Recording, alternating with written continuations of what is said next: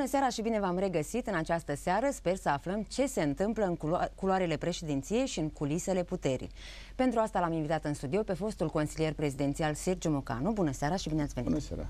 Bună seara. A fost o introducere atât de scurtă, pentru că avem foarte multe întrebări, dar sper uh, să aflăm cât de influențabil este președintele Vladimir Voronin. Ce rol are Marc Tcaciuc în politica mare? De ce a plecat Sergiu Mocanu de la președinție și de ce a acceptat această funcție? Înainte de asta, vă amintesc că puteți adresa întrebări invitatului, ori să vă exprimați opinia la numărul 210132 sau prin SMS la numărul 0310.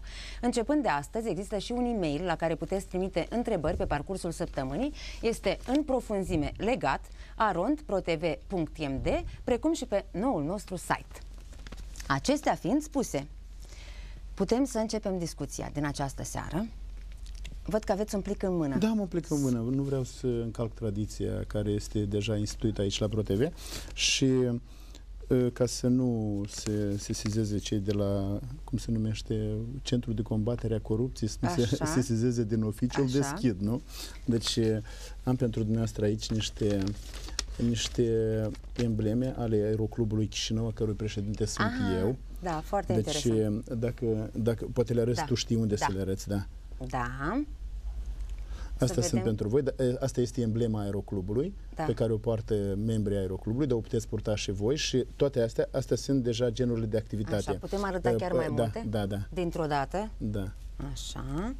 Cred că sunt le arăt corect, așa. Da, așa. și asta la fel. Așa, și asta da, deci, la fel. Și astea așa. le considerați ca, un, ca o invitație pentru echipa ProTV la un weekend să-l petreceți pe aerodromul Să zburăm sportiv. cu dumneavoastră. Da, să zburați cu mine, da, pentru că eu sunt pilot și sunt pilot bun. Așa.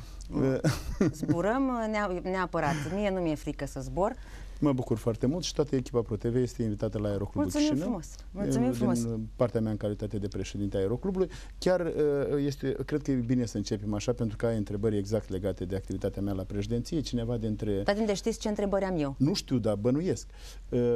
Era cineva a scris de unul într-un ziar, probabil că având vânturile de altă dată, a scris că fostul consilier prezidențial a fost numit la fostul DOSAF, actualul Aeroclub și cred că îl pregătește de pensie pensie. Ah. Ceva de felul ăsta, unul care mm-hmm. stă rotund aici în târgă, mm-hmm. a spus-o nu știu cum așa și eu chiar m-am mirat. Zic, domnule, oare chiar de pe acum la pensie? Poftim. Um, ceea ce aș fi vrut ca să aflu eu pentru început este faptul că eu v-am invitat cât ați deținut funcția de consilier prezidențial exact. de două ori la emisiunea mea da. și ați refuzat invitația. De ce? Uh, Păi cum să, să spun de ce? Deci, deci nu aveam cum să vin. De ce? Pentru că eu eram consilier prezidențial. Și? Și loia, eram loial președintele. Bun, am înțeles, dar ce legătură are una cu alta? Ce? A, aici a fost și președintele. Care e problema? Deci eu, uh, foarte bine, deci, dar eu am intuit că nu este bine. Adică nu, nici nu... A fost, refuzul a fost din partea noastră sau da, vi s-a interzis? Par, din partea mea, uh, fiind un fel de autocenzură. Dacă mm-hmm. vă deci dumneavoastră n-ați vrut da, să veniți. eu am, eu am decis că nu vin pentru că nu era, nu era bine să vin. Uh-huh. Dar există interdicții uh, aplicate oficialilor, demnitarilor? Probabil că există, eu nu le-am auzit. Nu le-ați auzit? Da, eu am avut un vis aseară, mă gândeam că zic, doamne, Lorena, o să mă întrebi ceva și eu nu știu răspunsul până acum. Da, deci nu, eu nu le-am avut interdicțiile. Dar, dar în mod normal, la ceea ce aș fi avut eu de spus la ProTV, trebuia la început să-mi depun demisia, asta ar fi fost corect. La început să-mi depun demisia și după aia să... să...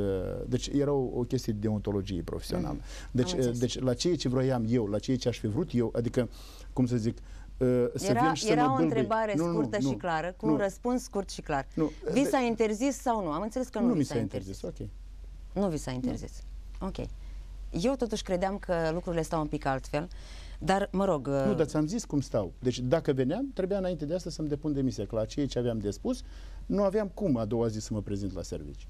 Dar era pe relația cu România, problema consulatelor. Atunci, prima dată invitația v-a fost lansată. Tu nu este consumat, poți să mă întrebi acum. Așa, ok. Nu, era interesant să aflu și poziția unui consilier okay. prezidențial, okay. nu numai a unui fost consilier prezidențial.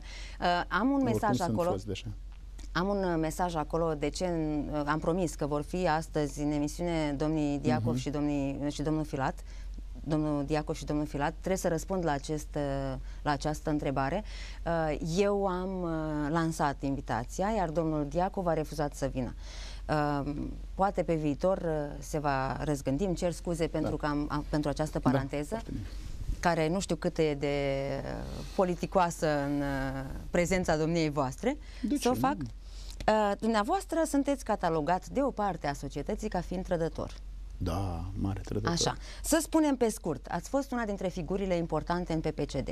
Ați părăsit Da. PPCD-ul, uh, ați nu, am ajuns fost dat afară, Lorena. la, P- Am fost dat afară. Îmi așa, pare rău. la Partidul Renașterii și Concilierii după aceea, pe care Da. l-ați părăsit și pe acesta, ați candidat pentru funcția de președinte al Partidului Liberal, Da. după care ați ajuns consilier la un De, președinte de la comunist. Partidul Liberal am fost dat afară. Așa.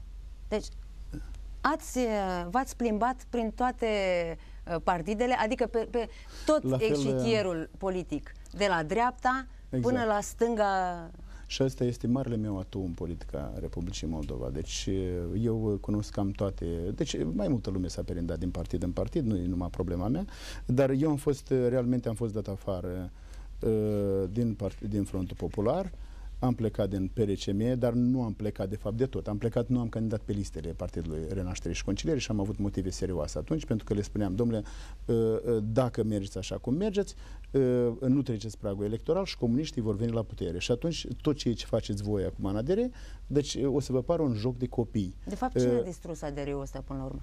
Uh, ADR-ul s-a distrus pentru că era o, s-a distrus de la sine din, con- din, din motive obiective, pentru că era, era o, m, o formațiune amorfă și lipsită de consistență. Deși guvernul pe care a reușit să-l desemneze Guvernul ADR-ul Sturza, atunci, da. guvernul Sturza a fost, cred că, cel mai bun guvern din, din toate guvernele din Republica Moldova, din vari motive, dar, dar, gu- dar, dar ferească Dumnezeu să în 2009 să mai avem un ADR la conducere. Uh, Am răspuns la întrebare sau... Pentru că, uh, uh, hai să spun, dacă îmi permiți încă două vorbe să spun. Deci, uh, uh, această uh, părere cu... Eu, eu nu cred că asta e trădare. Eu, uh, eu am și eu o părere despre mine. Deci, eu nu cred că am făcut niciun act de trădare față de nimeni. Deci, uh, iar uh, cei care spun de fapt că eu am făcut trădări, de fapt sunt uh, o parte din uh, politicienii care fac uh, politică în perimetrul Marii Adunări Naționale și, uh, și sunt oamenii care Cine n-au... anume, de exemplu? Bă, Îi numesc. Nu, acum nu am timp, că Mhm. uh-huh. dormezi două minute. Deci îi numesc. Pe parcurs îi numesc pe toți. Deci parte din ei cărora le este indicată politica ca, ca formă de manifestare. Multora Da. dintre ei le este contraindicată politica ca formă de manifestare. Și atunci acești oameni frustrați de, de, de, de situația în care se află ei, că uh, uh, în, în Chișinău toată lumea vrea să facă politică, nu? Uh, și toți sunt supărați pe Roșca și pe Voronin, spre exemplu, că ăștia o mai fac și eficient, să zicem, da? Iar ei, uh, iar ei supărați pe toată treaba asta, deci uh, cunoscută vorba, da? Că toată lumea știe că politica ar fi o femeie de, de purtări ușoare sau cum, da? Și toți au crezut că este accesibilă, iar la urmă s-au supărat toți că este accesibilă numai pentru unii. Deci asta până la urmă ar fi explicația de ce unele acte făcute în politică sunt considerate trădare. N-am trădat pe nimeni niciodată. Dar dacă ar fi să o luați de la capăt, ați Aș schimbat proceda, ceva? aș proceda la fel.